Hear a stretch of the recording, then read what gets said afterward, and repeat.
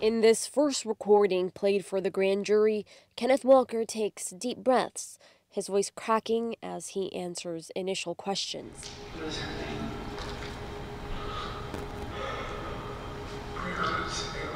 Grand jurors listened to a series of recorded interviews of Walker during the trial.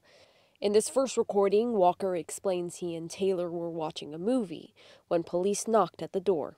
So they started getting dressed. The other guy at the door, she's like, Who is it? loud at the top of her lungs.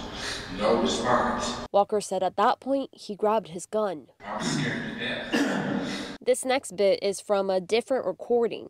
Investigators were asking Walker why he felt the need to do that. It's the middle of the night. the door and not seeing who they are. You know, what are you gonna do? If you're home with, with your family,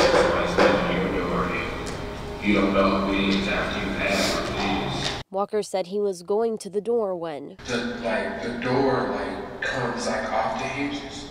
So I just let off one shot. Like I still can't see who it is or anything. he told investigators he and Taylor dropped to the ground. When the shooting stopped, he saw his girlfriend. She's right here bleeding and nobody's coming and I'm just confused and scared and I feel the same right now.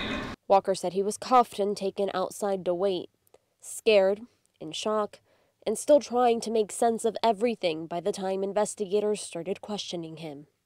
Sophia Millar, LEX 18 News.